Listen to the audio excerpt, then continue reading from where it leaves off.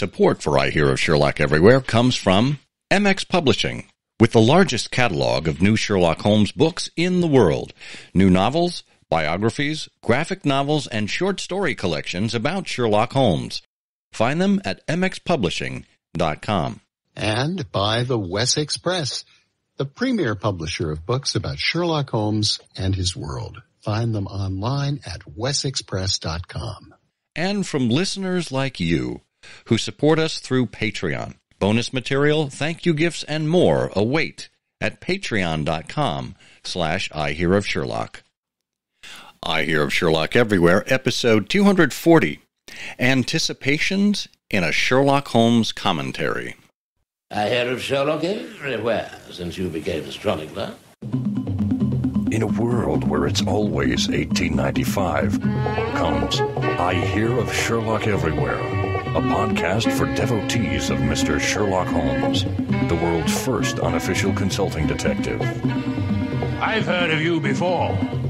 You're Holmes the meddler, Holmes the busybody, Holmes the Scotland Yard Jack in office. The game's afoot as we discuss goings on in the world of Sherlock Holmes enthusiasts, the Baker Street irregulars, and popular culture related to the great detective. As we go to press, sensational developments have been reported. So join your hosts, Scott Monty and Burt Wolder, as they talk about what's new in the world of Sherlock Holmes. You couldn't have come at a better time.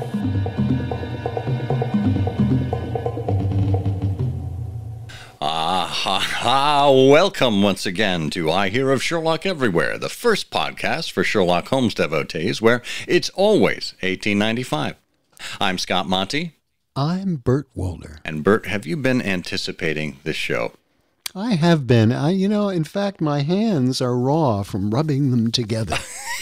With glee and anticipation. yes, exactly right. I love it. Anticipation. Well, anticipation is making you wait, uh, but just through this uh, how, bit of housekeeping that we have for you, reminding you that the show notes for this episode, and there will be many links, by the way, so make sure you check out the show notes for this episode at ihose.co slash ihose240 all lowercase. That'll take you directly to the ihearofsherlock.com website, to this particular episode, where we'll have all sorts of goodies for you there.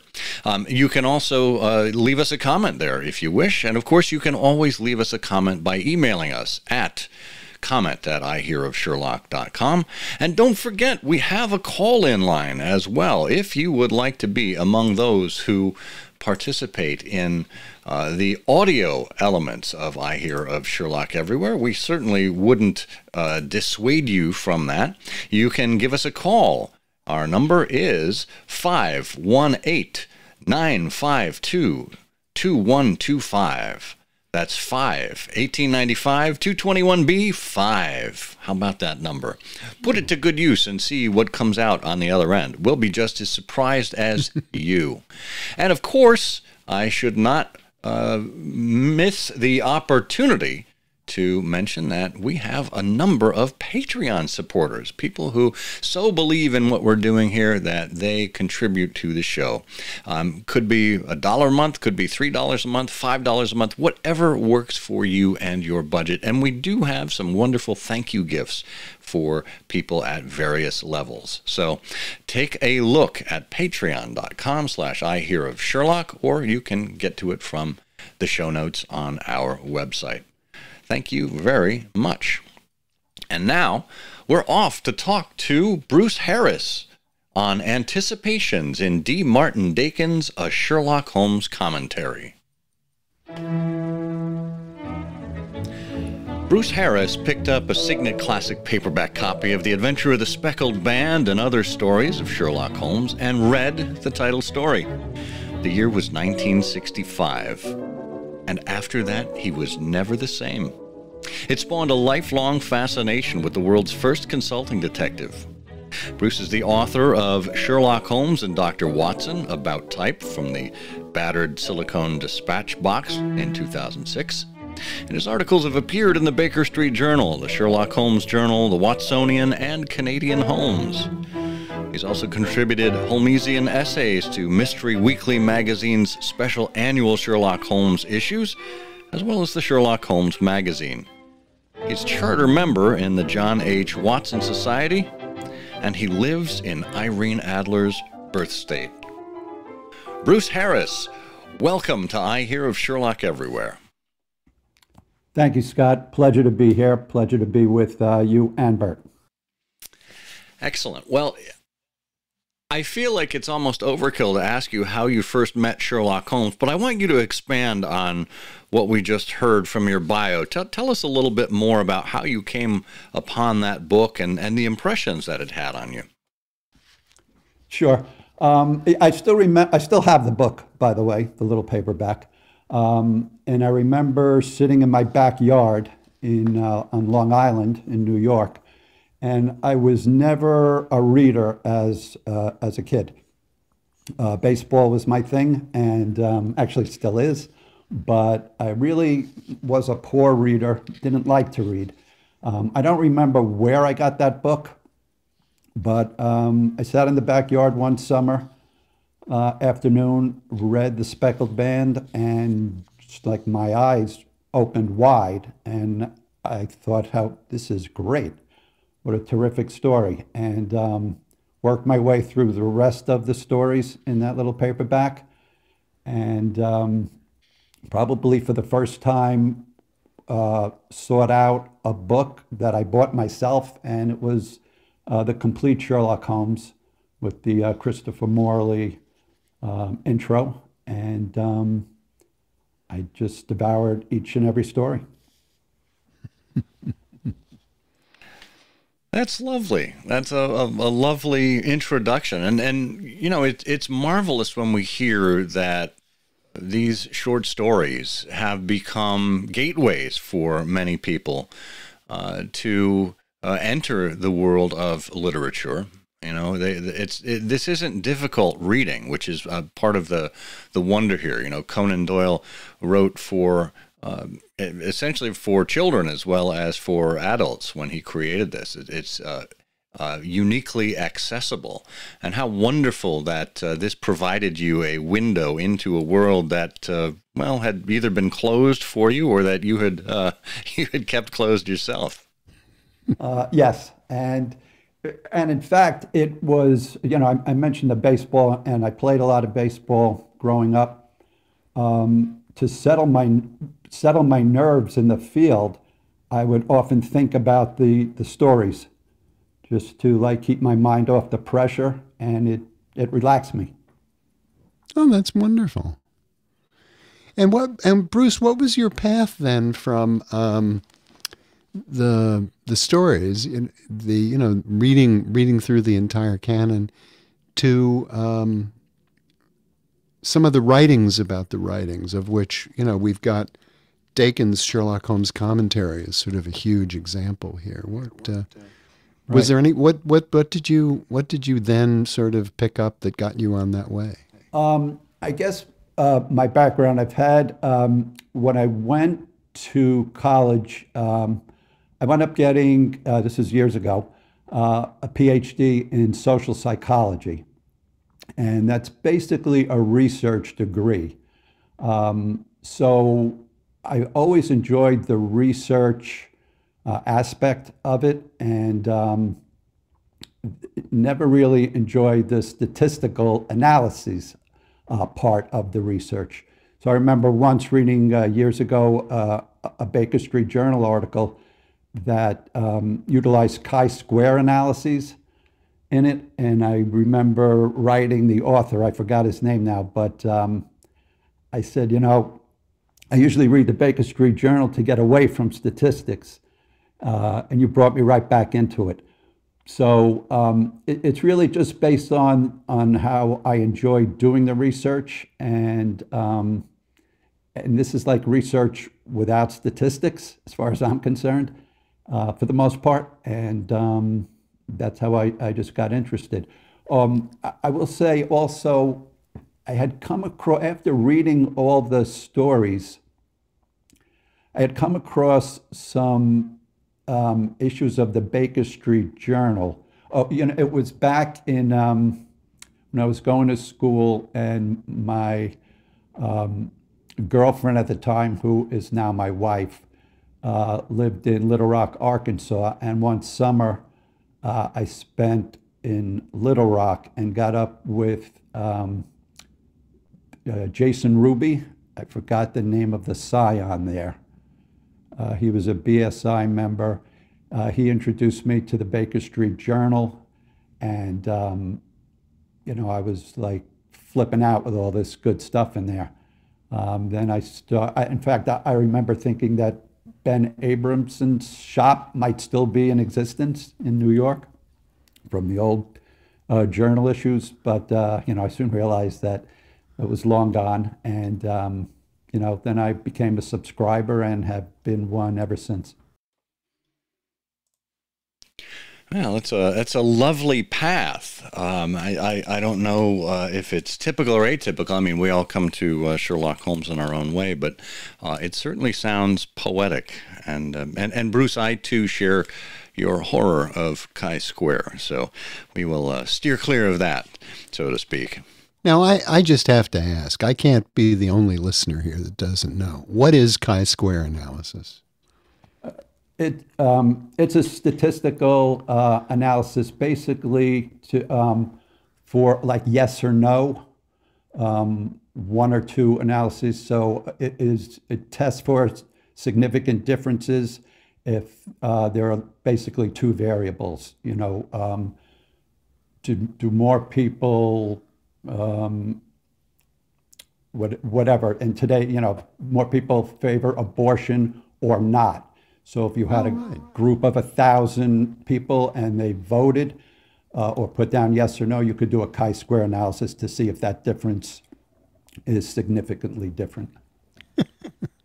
well, thank you. I'm, that's a great explanation. I'd say I was thinking it had something to do with Kai Lung. And, but that would take me to Ernest Bramah, and that's the well. You know, uh, Burt, in in my graduate school days, I was actually thinking of opening a tea shop in in a little area of the campus and calling it Chai Square. no, sorry, that's my well, only. You'd, you'd need a cardamom to get in there.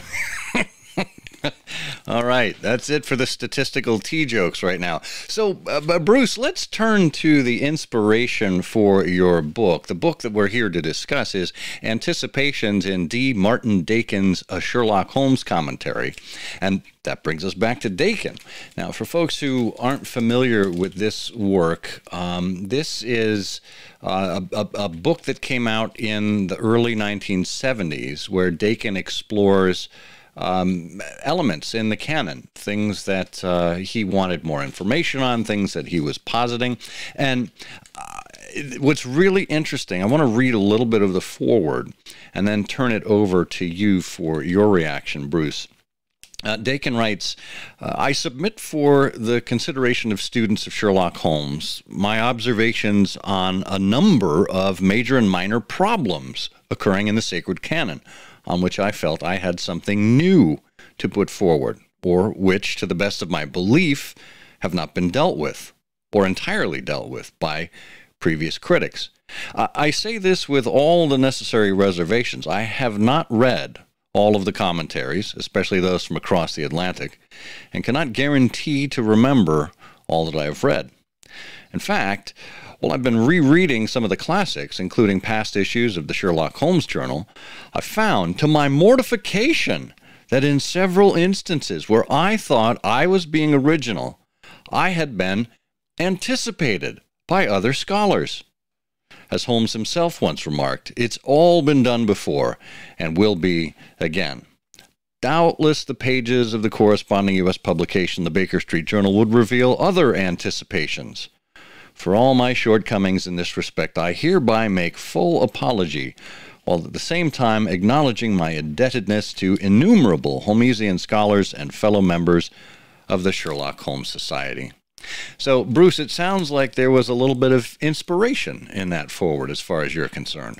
Uh, exactly, exactly, Scott. So that that piqued my interest. Um, the Dakin book um, you know, it's just a staple for pretty much any Sherlockian research, along with uh, Les Klinger's uh, the reference library, um, and the uh, Jack Tracy's Encyclopedia, for example. So anytime I, you know, I'm engaged in research, uh, the Dakin book is is open, and I'm looking at it. Um, so you know, it not only delves into every story, but it's also one of the, I guess, finest chronologies out there. Um, so he really um, did a masterful job. And I took the challenge of what he said in that forward. I thought he, you know, if he was still around, he would appreciate it because he um, he himself got into a little, um, I don't know how to put it, but literary spat in the pages of the Sherlock Holmes journal with um, with Trevor Hall after Trevor Hall published his 10 literary studies in uh, 1970, that uh, Trevor Hall had um, basically uh, asked people to, you know, criticize the work or what they found, what they weren't happy with. And uh, Dakin did that within the pages of the Sherlock Holmes Journal. And it turned out Trevor Hall wasn't too happy about that. Um, so I guess be careful what you ask for. So um, it's I sort of took Dakin's words as you know a challenge that hey you know there is stuff I missed, there is stuff I had forgotten about, um, and he was of course in England, so I'm not sure how much access he had to the Baker Street Journal. So you know there were more items, much more items I found in the Baker Street Journal that uh, he touched upon uh, versus the Sherlock Holmes Journal.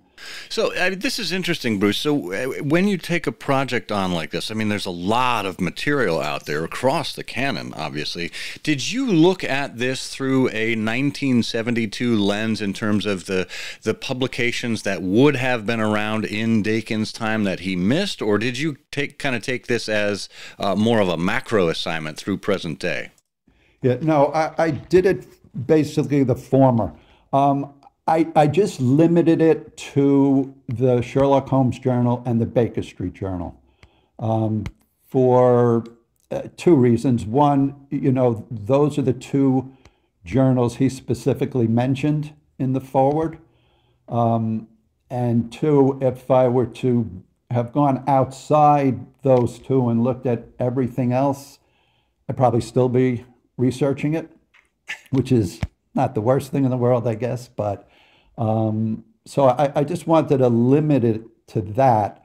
Um, the other advantage I had was using um, uh, De Waal's uh, big bibliography, the first one, um, that was published, I think, in 74, maybe.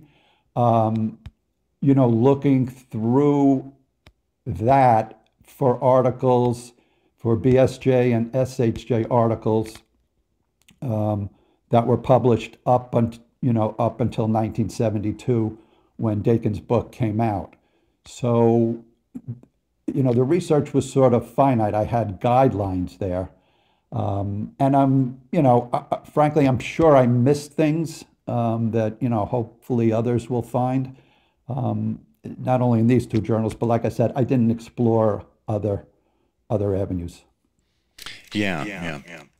So, just for our listeners uh, who may not be familiar, um, Ron Burt De Waal, um, Bruce just mentioned De Waal there, in the early 70s wrote uh, the definitive uh, bibliography, the, the world bibliography of Sherlock Holmes. And, you know, this is one of those things that it's, it's a never ending project. So, I mean, you have to take snapshots at particular periods in time. And it's actually quite fortunate that that publication is around or still accessible because, uh, in terms of your project, Bruce, I mean, it's almost a time capsule of sorts that allowed you to focus on, you know, those those pre early 1970s publications. Exactly. So, um, yeah, it wasn't so overwhelming as it might have, you know, might seem. Yeah. So so where do you start? You know, when when you're when you're going through this. I mean, Dakin has a. Uh, you know, a, a, process where he goes through, well, he lists all of the stories in their publication order, and of course he assigns chronologies to them. But what, what was your approach? How did you first begin digging into this? Well, like any uh, other Sherlock Holmes research, it, there's always the fear that, you know, like you mentioned before, it's been done before. Um, you know, as as many uh, of the new articles that come out, it's always incredible, and it's always a little scary when you start something that uh, it's been done before. So, uh, you know, I first checked around. I hadn't seen anything like this. Um, I love these classic, you know, I call it a reference book.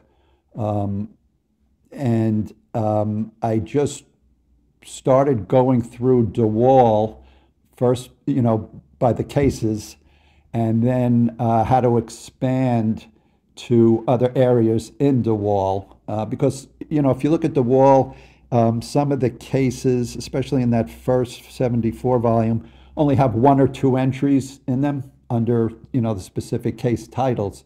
So um, you know, at first I was thinking there's not much here, but then I realized, oh, you know, there's so much under like whatever the topic was, characters, whether it would be Holmes or Watson or uh, Moriarty or uh, Mycroft. You know, I had to really go through De Waal pretty thoroughly um, to search out any BSJ or SHJ article and um, and and you know I reread Dakin several times over, um, and my copy is uh, pretty beaten up.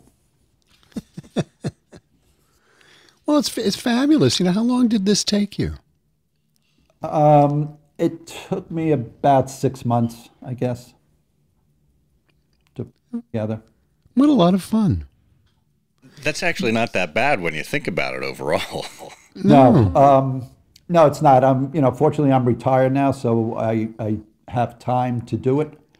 Um, and uh, you know, once I started it, I really uh, just kept at it. Well, you know, the, lovely, the lovely thing, thing about, about it, it is, uh, particularly for our listeners, that Dakin's book, A Sherlock Holmes Commentary, which, as we've mentioned, was published in the early 1970s, is still widely available in lots of editions for very relatively little money on ABE books and other places. And that, coupled with your book, which is available, uh, I know, on Amazon and you know through other sources here, Anticipations in D. Martin Dakin's Sherlock Holmes Commentary. Your book, um, coupled with the Dakin book, really makes um, a the Dakin book you know more val- even more valuable and relevant, but it also allows you to have this sense of temporal development. You know, what happened since the 1970s um, in articles referring to things that Dakin touched on. But also, you know, one of the key points here is your title, Anticipations, in D. Martin Dakin's Sherlock Holmes commentary. So as you got into this, did you what did you find did you, did you find anything surprising in terms of people who um, we're ahead of Dakin in some areas or on some points? Um, yeah, uh, I did. The um, if I can make one correction, uh, Burt, I, I, don't believe it is available on Amazon. Oh, sorry. sorry. No, that's all right. Um, I do have copies myself, and um, and the publisher George Vanderburgh has copies.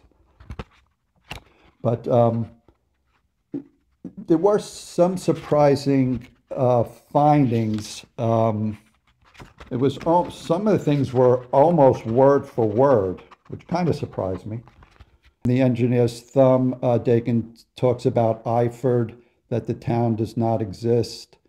Um, and then in uh, a Baker Street Journal article in 1969, where is Eyford? It, it, there were a lot of things um, like that. I'm just trying to that it just surprised me that Dakin didn't um, didn't note them. You know, for his in the chronology piece of his book, which was like the first section of each story, he spoke about the quote the date.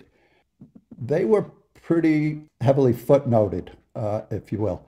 but his observations were not. In the Crooked Man, under his title David's Sin, uh, Dakin writes uh, that despite denials, Holmes' knowledge of King David's affair with Bathsheba is proof of the detective's familiarity with religion.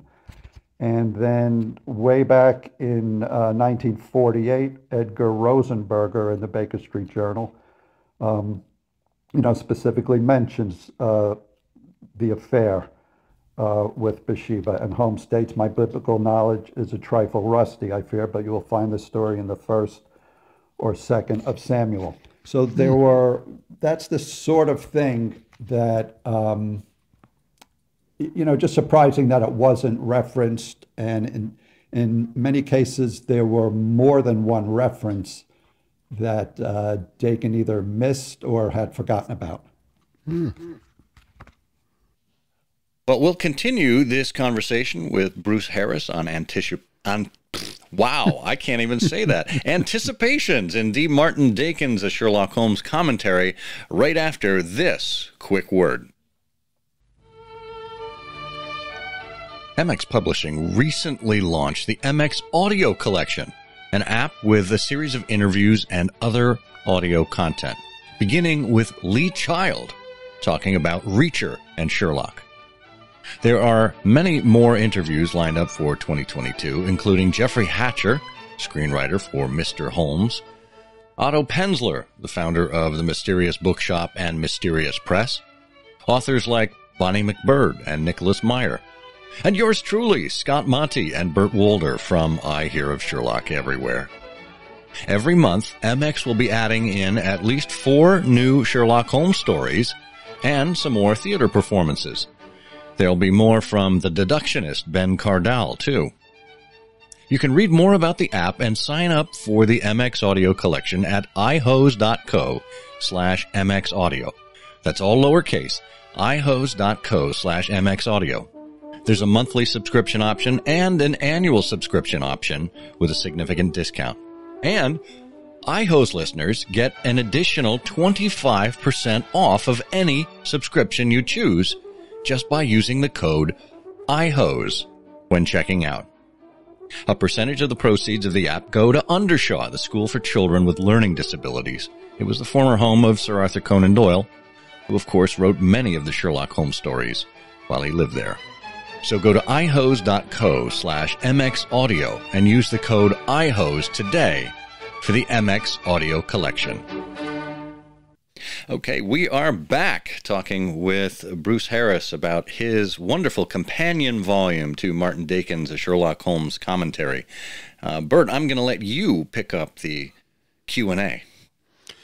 Well, you know, it's wonderful that what you get here because this is, you know, occasionally in, in our conversations with authors and Sherlockians, we find people who've done something, you know, really new. And of course, as we know, and as our listeners know, the writings about the writings, you know, certainly go back to, let's say, you know, 1900, you know, the era of Sir, uh, the era of Father Ronald Knox, but perhaps even earlier, you know, where people were writing about the Sherlock Holmes stories. And we know that goes back actually to the 1890s. But this book, Anticipations in D. Martin Dakin's Sherlock Holmes Commentary, is writing about the writing about the writings. And and what you have, you know, is um, not only an interesting amplification of the points and and additions to the points that Dakin makes in his book, but you can also use this as a way of starting your own thinking about um, you know future papers to write or points that you might think don't make much sense, and maybe you want to dig into them on your own. And the lovely thing about it is that, you know, it, it harkens back to a time when we didn't have tools like the B- eBSJ, which you can search and, and easily comb through, you know, a big chunk of the publication history of these journals and the electronic Sherlock Holmes journal and find these kinds of these kinds of references. But but my question, you know, so that's just sort of an observation. But my question was, so Bruce, um, did you what was your feeling about Dakin when you finished? Was it the same as as when you started? I mean, did you get any insights into into um, him and his work? Um, I, I, well, I've always been impressed with the book. Um, and I just want to mention, uh, before I forget, in the spring 2016 issue of the Baker Street Journal, uh, Nick Utechin has a great article uh, entitled D. Martin Dakin, an Underrated Scholar. Um, again, spring of 2016, and he, uh, he talks about the book there. Um, just, I guess, a greater appreciation uh, for his thought processes because, again, I'm sure he hadn't even seen a lot of these Baker Street Journal issues. Um, who knows if he had a complete issue of the Sherlock Holmes Journal? And um, you know the the quote "Great minds think alike." That you know his some of his thoughts were that he put on paper. You know others had thought about as well, um, and he may or may not have put a different slant on it. But um, you know, each story doesn't like if you just look at it, you know, the, the pages doesn't look like much, but when you read what's in there, it's a great depth of, of knowledge and insight into each of the short stories that, that he's got. So I came away more impressed with the book than when I when I began. Hmm. That that is a wonderful uh, ringing endorsement. You know, uh, the Dakin book has graced my shelves for a number of years, and it, it's interesting because I typically turn to my Baring-Gould, I turn to uh, good old index, you know, some of the um, other more easily accessible annotated type things, uh, and and Dakin here has really it's it's a wonderful reminder that he's really produced uh, a book that's worthy of spending time with because it's uh, it, it's not only you know a chronology it not only asks some of these questions but it really well I guess the title is a spoiler alert. It, it it's really a wonderful commentary on on the books. Uh, right. It's um, I agree. It's uh, it, it's it's just an incredible addition to any, you know, any Sherlockian's library. Um, like Burt said, it's it's been around, it's available. Um, you know, it, it's not that expensive, and and even um, I think it was on a, an episode of Trifles where you, both discussed the casebook um, stories from uh, Dakin's Sherlock Holmes commentary, and his feelings on whether those stories were legitimate or illegitimate. Yeah, that's right. It, it, it provided uh, wonderful fodder for us for that uh, that discussion. Um, so, Bruce, uh, Burt asked you before about any surprises uh, that you found in your in your research. I'm going to approach this kind of from the opposite uh, aspect in terms of any things that seemed blatantly obvious to you, are there major oversights that uh, Dakin made that in turn surprised you? Again, just the dearth of footnoting in the you know in the commentary portion of the stories just seemed like he did a much more thorough job uh, for the dating on the chronology piece of it versus the uh, you know his the story commentary. Um, you know that was it. There's another like from the Noble Bachelor. He he speaks about um, Holmes's quote worldwide country, where a combined England and the United States, and then um, you know, I found J.N. Williamson in the Sherlock Holmes Journal in 1956 had spoken about the same thing. Um, one of Sherlock Holmes's most famous uh, speeches, you know, quartering of the Union Jack with the stars and stripes. So, um, just you know, I don't know if he just pure coincidence that he didn't see it, um, just neglected to footnote a lot of this stuff. Um, but it just seemed odd that the the dating part was just more thoroughly uh, footnoted than the commentary piece. Well, you know, that happens sometimes with chronologists and chronologies. People become very wrapped up in um, the rationale, the details, the supporting information, the other things to consider when you come onto a date. Well, there there are many lovely things in in your book here, and as we've been saying, it does make combined with the Sherlock Holmes commentary a really terrific contribution to Sherlockian scholarship.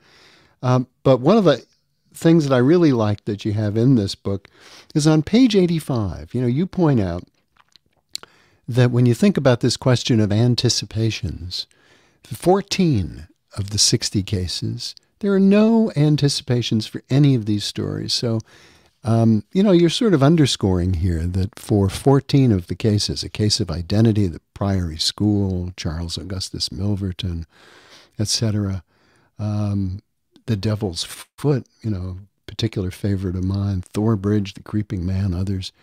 There's no anticipation, so that's an area where Dakin was really um, the first one to put a stake in the ground in many of his observations. That's a very fair point uh, Burt's making. Um, that there are a lot of, you know, these stories where I could not find any previously written um, uh, anticipations of them, uh, and you know, I, I sort of took it upon as like a personal failure when I couldn't find anything. Um, so I, I, kept looking and looking, uh, and but I couldn't find anything. So um, yeah, no, that's a very fair point. Now, do you think, uh, Bruce, that um, there are other bits that can be squeezed out? I mean, I think of um, oh gosh, it's that uh, that Wisteria Lodge uh, interplay between I think it's Inspector Baynes and Sherlock Holmes, where he said, "I think I just when I thought I squeezed it dry, you come along, and there's something more." Do you think there's something more here still, Bruce? Bruce, I would absolutely say yes. Um, there always seems to be something more, um, and you know whether it's those 14 stories that I couldn't find anything on, or you know expanding the search beyond the BSJ and the SHJ. Um, there's bound to be something, or you know, just a different angle or take on what's already written, uh, or different interpretation. So, I would say absolutely, there's more to be had here. Well, that's great news, I would imagine. And finally, uh, and, and, this is, of course, Burt, unless you have uh, other questions, but my final question uh, really turns back to your uh, your studies, your early studies, Bruce. You said you had a PhD in social psychology. What what would or what do social psychologists have to say about people like us who are crazed with this uh, little idée fixe? Uh, I've been out of the field for many, many years. Yeah, it's it's um, very different than uh, a clinical psychologist. So while definitely steer clear of that. Um, it's, you know, social psychologists look at be- people's behaviors, group behaviors, really. Um, so I guess you could say that Sherlock Holmes, the people as a group, um, but hey, it's a healthy hobby. I'll leave it at that. Yes, it's a, it's a hallmark, hallmark, clearly, of people with impeccable taste. There you go. Well, Bruce Harris, author of Anticipations and D. Martin Dakin's A Sherlock Holmes Commentary, thank you so much for being not only an avid listener of I Hear of Sherlock Everywhere, but a contributor to the literature on the subject. My pleasure, and thank you so much for having me.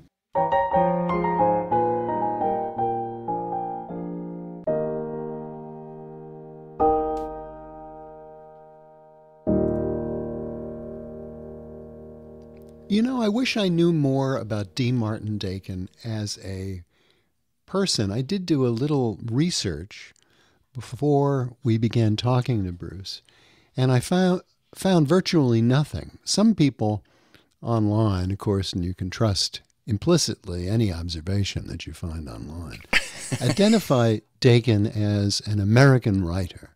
But I doubt that because uh, one of the things I did discover was David Martin Dakin who was born in 1908 and who died in 1979, I believe, was the first winner in the game Brain of Britain in 1954. Oh, And how do you I like that? I suspect it's the same gent. And the other thing is, he, he wrote another book. He's mostly, well, just completely um, known or um, found online in association with a Sherlock Holmes commentary.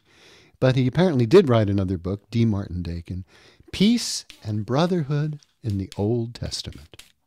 Well, that's easy for you to say. Um, well, I think his own foreword to the book, where he says uh, he hasn't read much scholarship from the other side of the Atlantic, is a dead giveaway that he's on the other side of the Atlantic. um, and I think we mentioned this when we interviewed Glenn Dakin for uh, his book, uh, the Little Sherlock Holmes Book of Wisdom. Dakin, 230, Sherlock Holmes' Little Book of Wisdom. We met. We asked if he was any relation to D. Martin Dakin. He had no idea. Um, but my recollection from that interaction is we determined Martin Dakin was a uh, an, an, academic of sorts, either a school teacher or a professor. Um, and and this was something that he just kind of did on the side. So Well, that makes sense. wonderful, wonderful. Well, I'm I'm glad he did, and I'm glad Bruce did, and um, you know what? Isn't it wonderful when we have uh, kind of an old standard like this, and now it can be updated, uh, uh, really in the vision of the original author. You know, when he said he didn't know what he didn't know, uh, here along comes Bruce to tell him and all of us what uh, Dakin didn't know.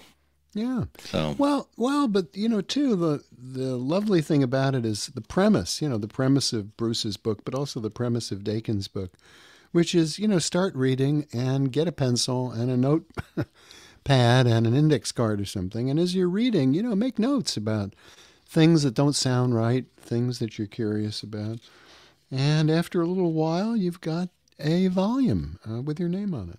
Yeah. Yeah, more people should read with pencils. Hmm.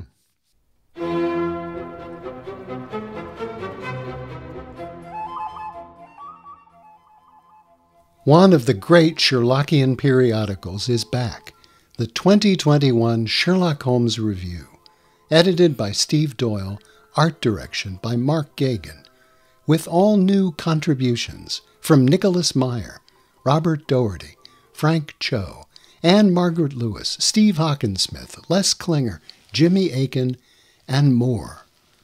118 pages about Sherlock Holmes, the illustrators, community, collecting, comics, reviews, film and TV, scholarship, including new artwork, Irene Adler drawn by the inimitable Frank Cho.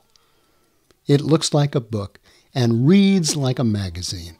It's the Sherlock Holmes Review. Get your first edition copy of this essential 2021 Sherlockian Annual, the all new Sherlock Holmes Review, at wessexpress.com.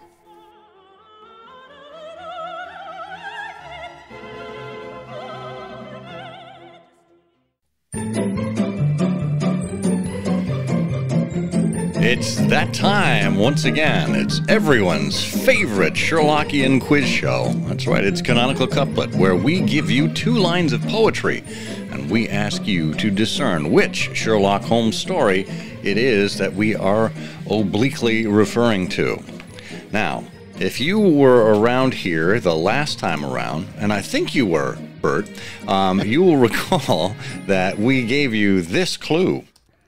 It was a tiny treasure, not quite a bean in size. Holmes relied on simple means. It pays to advertise. Burt, do you know which Yeah. story we're talking about? Yes, I do. That's the story about the villainous contractor who was remodeling a kitchen and never showed up. That's the case Watson called the no good builder. Yeah, you get the full trombone treatment this week. No, I am afraid that is incorrect. um, and and as usual, our friend Eric Deckers had uh, his own take on it. He said, uh, It's the story of the man who was murdered by being forcibly restrained in his car seat with a powerful industrial adhesive. It's the adventure of the glued car buckle. Oh, I like that. That's cute. Except, uh, Eric says, I don't think they had cars during Holmes's early career. So I think it's more likely the adventure of the blue carbuncle. Well, now we are on to something, Eric. Yes, that is the answer we were looking for. The Adventure of the Blue Carbuncle. We had a number of people who contributed entries this time, so we are going to turn to the big prize wheel and give it a spin. See who the lucky one is this time around. Getting a copy of DC Comics. Uh, and in this case, it is number 27. It looks like 27. And that corresponds to, oh, our friend Charlie Blankstein. Charlie, congratulations. Yes, we will have a copy of that 1975 DC comic to you with Sherlock Holmes on the cover. So that is exciting. And now, this time around, we will have for a prize, well, a copy of Bruce Harris's book, Anticipations in Martin Dakin's A Sherlock Holmes Commentary. So, if you're ready, here you go. Rods and reels and baskets, and an evening bright in May. A daring, desperate man receives a censure for delay. If you know the answer to this episode's canonical couplet, put it in an email Address to comment at ihearofsherlock.com with canonical couplet in the subject line. If your correct answer is among all of the others and we choose you at random, you'll win. Good luck.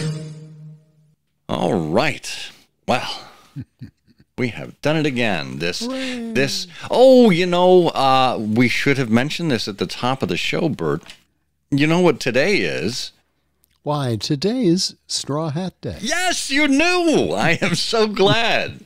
Straw Hat Day. Of course, this is. I was up early this morning taking my top hat and my bowler and my fedoras and all of my various felt hats, my berets, you know, all 30 or 40 of them out, of course, out of the shelves, and putting in uh, my straw hats, you know, my boaters, my Panamas. Yeah.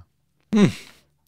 It, it, it is that time of the year, no question. And you know, if uh, folks would like a uh, an audio companion to go along with hats and uh, hat care in the canon, we do have a Trifles episode for that. That is our companion show. If you haven't listened to it, we highly recommend it. We will put a link to episode 152 of Trifles in the show notes so you can look that up. I don't know if Martin Dakin ever addressed hats in uh, the commentary, but it might be worth uh, looking at. Oh, well, that's a very good question. Certainly, uh, the hat in uh, last week's uh, or last episode's quiz answer there, the blue carbuncle, uh, that, that uh, battered billycock was uh, something worthy of note. So, well, I will tell you, I've just opened my copy of Dakin, and he has a large number of references to headgear. Headgear one, two, three, four, five, six, seven, at least eight references, oh, eight perfect. locations, eight things to say about headgear. Excellent. Well, that is worthy of investigation, no question. And commentary. And commentary. Hmm. And we've anticipated him, haven't we? oh, Very good. Hmm. Well, I suppose this uh, ends the commentary for this particular episode. And uh, until next time, I am the appropriately headgeared Scott Monty. And I'm just the muted Burt Wolder. And together, we say, The, the games, games of, of foot. the game's afoot. You know, I'm afraid that in the pleasure of this conversation, I am neglecting business of importance, which awaits me elsewhere.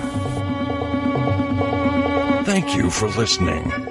Please be sure to join us again for the next episode of I Hear of Sherlock Everywhere, the first podcast dedicated to Sherlock Holmes. Goodbye, and good luck, and believe me to be, my dear fellow, very sincerely yours, Sherlock Holmes.